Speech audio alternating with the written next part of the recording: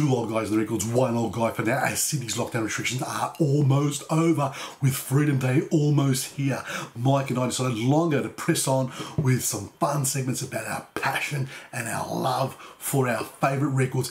And welcome to Friday Faves as we delve deep into our record collections to discover or rediscover gems. And today's episode is the gem of gems because all I have to say is listen to the riff.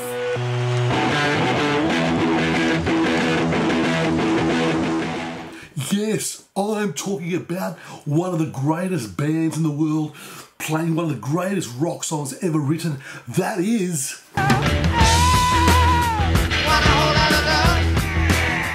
Led Zeppelin and Whole Lotta Love. This is a single where every record collector that is a rock fan has to have.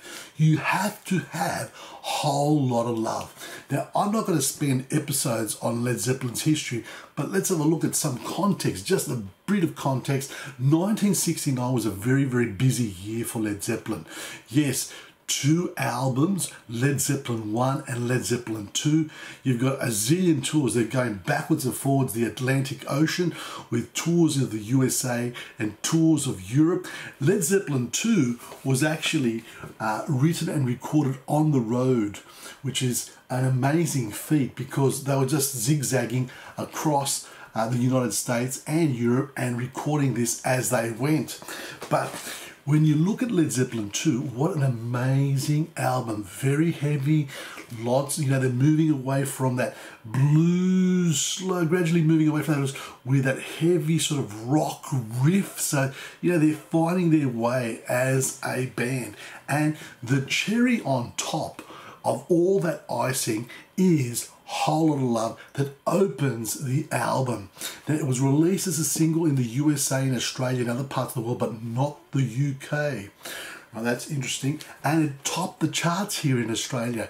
And I'm glad I've got the single because there are there's a version of this single where it's been cut as you know to fit into the single. This is the 5 minute 33 second version of it with all its glory. Okay, so yes, it is one of those great singles. Uh, like I said, what don't you love about it? The opening riff, that five note riff by Jimmy Page. You know, John Paul Jones comes in with a bass, and then you've got the vocals coming. You need cooling, baby. I'm not fooling by, you know, Robert Plant. And then when we get to the chorus, a whole lot of love, the drums of John Bonham kicking. What a song.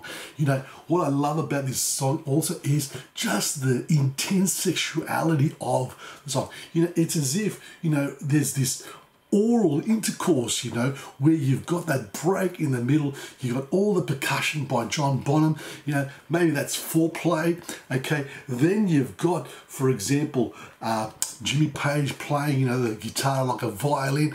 Maybe, you know, we're building up to something. You know, you've got the moans from Robert Plant, and then you've got the climactic love. And then, for example, you've got John Bonham's drums, the solo kicks in, and that is sexual epiphany. Yes, what a journey they've taken us. Now, lyrically, have a look, you know, at the beginning, yes, the persona sort of saying, you need cooling, baby. I'm not fooling. I'm going to send you back to schooling. So, in other words, the persona, male persona, is really, really confident here.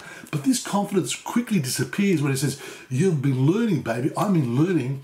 All in good times, I am yearning. So he is suffering at this point. And then when we get to the point where he says, you've been fooling, baby. I've been drooling well, hey, maybe she's playing around and now he's even more suffering.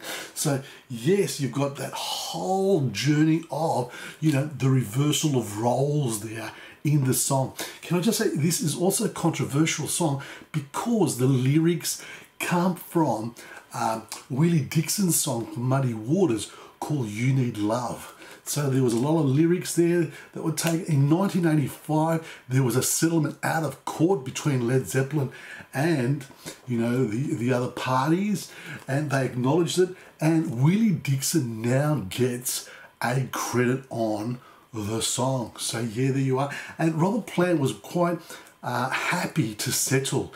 Now he did say the riff, the riff is definitely Jimmy Page's riff. But you know, he was saying I needed, you know, words over this, and he was inspired by "You Need Love." He used it, and in, in one interview, he sort of says, "If we weren't famous, we wouldn't have been caught." Okay, that's what happens when you become so so famous. So yes, whole lotta love. Now it's been regarded as one of the best riffs ever done in rock. The single is very very important. You know, in you know lists. You know, did you like Led Zeppelin? What a question.